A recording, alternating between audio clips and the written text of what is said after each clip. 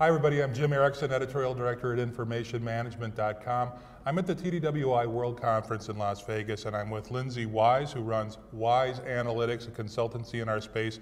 Lyndsay does a lot of work in business intelligence, especially with small and mid-sized businesses, and she's out here checking out the latest from the vendors and the product market at the crowd.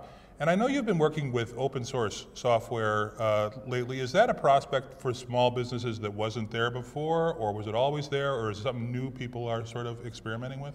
I think it's a little bit of both. Okay. So I think it was always there, especially within nonprofits or smaller companies where developers really wanted to have a handle on what they were developing and have that control in house. Right. But I think also as business intelligence solutions such as Jaspersoft and Pentaho have become more mainstream. Mm-hmm. More SMBs that might not have considered it are starting to go that route just because of the commercial offerings as well. Sure. And, and do small uh, businesses tend to lean more on the user committee, uh, user communities, I should say, rather than, you know, are they going, is the package software coming to them or are they still finding their way in terms of developing their own type of platforms? That's actually a really good question. I think a lot of the developers, at least from what I've been seeing, really like to take that ownership and actually like to develop it from scratch. That's interesting. But yeah. then from the business perspective, there's that kind of confusion between, well, you know, the developers want to be able to develop things and control what features and functions they use, Sure. but then business side wants it quick and how are we going to get it up and running quickly? Yeah, exactly. So there's that Yeah. balance of, you know, it can go either way. Right, because I think one of the first hurdles people think, well, you're a small business, you don't have an IT staff, you can't Right. manage all this yourself. But the, the products have matured, right? And Yes. they're getting a lot easier to use and roll out. Yeah, definitely. Okay.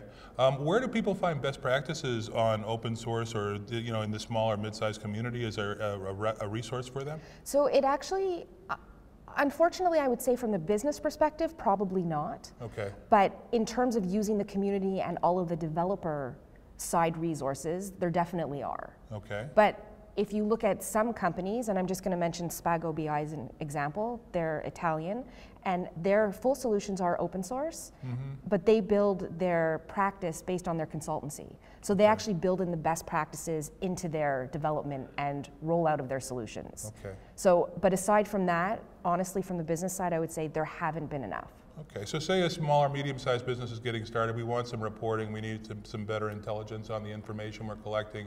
Um, where does it start usually? Does it does the, the, the director go to the IT guy and say, what can we do here, or uh, where's it where's it going to originate? Where do people go first for open source information? Well, it's interesting because in the past, I know there's always been this talk between IT and business cohesion and commu- like communication. Okay. And what I've been finding is, at least in the SMBs that I've been dealing with, they're very good at that Okay. in terms of having the C level or management actually go to the tech guys and say, you know, what can we do? What do we have? This is what we need. Right. So there does seem to be that cohesion, at least most of the time, from what I've seen. Okay, terrific. And I understand you're finishing, just wrapping up a book Yes. uh, in this area too. And Yes. what's that going to be called?